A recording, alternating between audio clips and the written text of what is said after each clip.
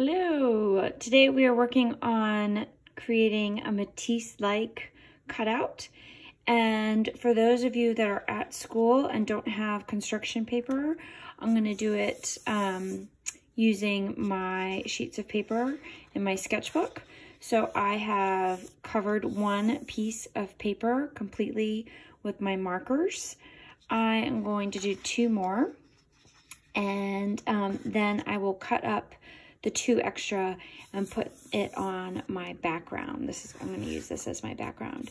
If you're at home and you have construction paper, like lots of different um, colors, you can use those as your cutouts. You can cut big blocks and glue them on as your background. But um, there's lots of different ways you can do this and I'm excited to get started. So first step, um, that's going to take a while is we are going to create these three pages of color such that, that we that can then cut it out. Okay, so here I am painting my second piece of paper that I'm going to then ultimately let dry and cut out. But one tip that I would recommend, and this is a little bit tricky though, so take your paintbrush and paint the one section that you want the whole color in and just the layer of water. I think you can see that my paper is a little bit wet right here.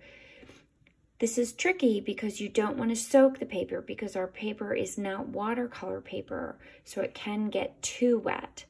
But if you do a layer of water, it'll make on your paper before you get the paper, the paint on your paintbrush, it's going to allow the color to transfer on a larger section easy, more easily.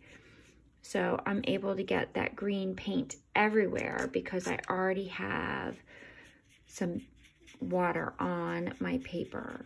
And so it's spreading out a whole lot easier. So this is going to be one sheet of paper that is now covered in color that I can then cut out to be more like our Matisse cutouts. And as you already heard in the video about Matisse, is his cutouts were actually of painted paper.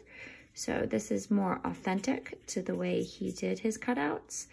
And it'll make our cutouts look more interesting with the brush strokes and the different areas of paint and the different um, saturation amounts. So since my background had lots of warm colors, I did mostly cool colors. I did green and blue, and then you can see I did this ombre, like sunset effect here. So now I have to wait for these to dry, and then we'll start our cutouts. Hello, so I'm back. I have my three pages of complete color. So I filled, this is my background sheet. I used my markers to fill out the whole page.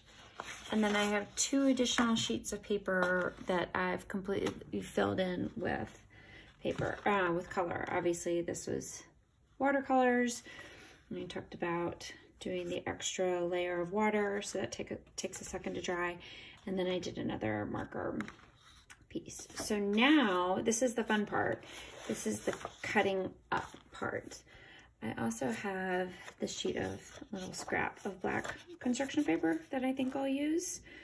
So now what I'm going to do is I am going to cut up these two pieces of paper in organic shapes and geometric shapes. So geometric shapes being very perfect, sort of math oriented, and organic shapes being those found in nature that have different lines. Um, and obviously Matisse was really big into all of these organic shapes.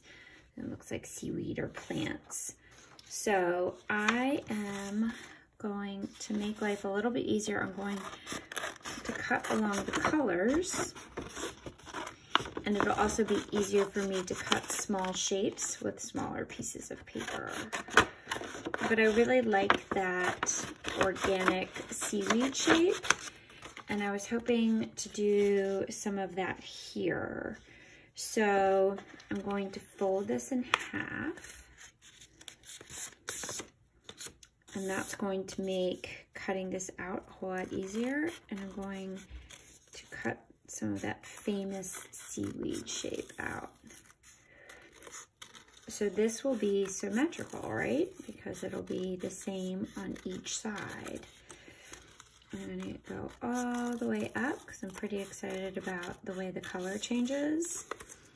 And instead of having just one cutout, this is actually gonna make two cutouts and I'll show you what I mean by that. Oops. All right, moment of truth. I'm gonna open it up. Ooh, that is awesome looking. Oh, I'm really excited about it. I actually like it on the blue. But I have that here. And then this is, so that is my first shape, right? But then remember how I cut it out? Look, I have another shape. So I can use both of those things, both of those pieces of paper. Oh, that looks neat too. So now I, I still like, still like that, the cool colors on top of the warm colors. So now, this is when I need a bigger sheet of paper. This is gonna be too much fun. So now, those are, those on the instructions, you'll notice I say, please have at least three organic shapes and three geometric shapes. So same thing with this piece of paper. I'm going to divide it according to sort of the pattern I have. And for these guys, rectangles. They look like squares because they had stripes in them.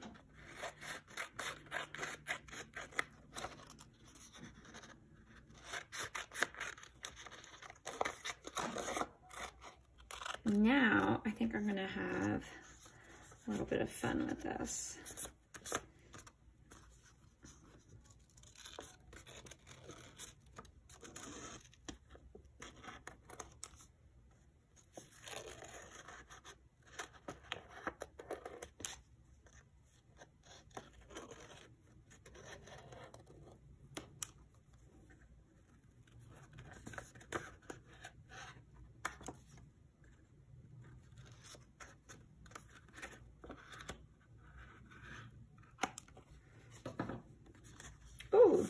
That's fun. I like that.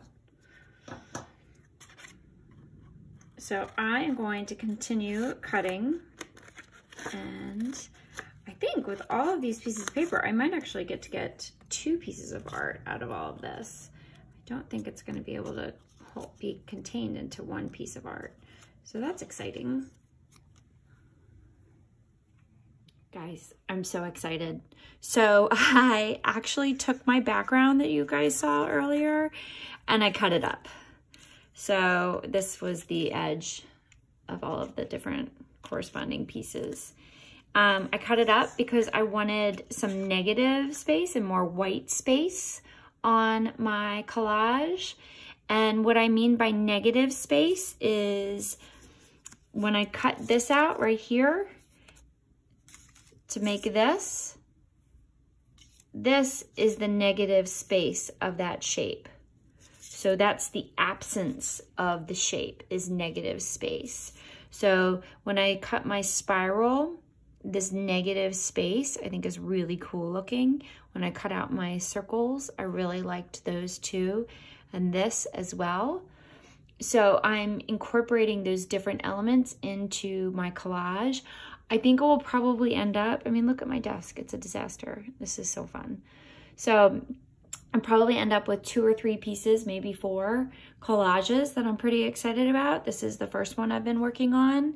Um, I started with um, these three, these four big pieces, and then I decided I wanted some cooler colors to uh, balance the warmer colors that I have. So I slipped in the blue square and um, I'm also doing a little bit of a border effect that Matisse does on his things. So remember when you're putting together your composition, you want balance. You want balance in the way of not everything grouped up. Or if it is all grouped up, then it slowly disperses. So you have a little bit of movement there from one side of the paper over to the other. Um, balance as far as color goes and scheme, balance as far as types of shape. Um, you can add pattern. My stripes here help with the pattern element. Um, so work towards, you know, once you figure out your first arrangement, see if adding or taking away helps. And then um, glue it and send it to me on Flipgrid. I can't wait. I have lots of fun doing this. I hope you do too.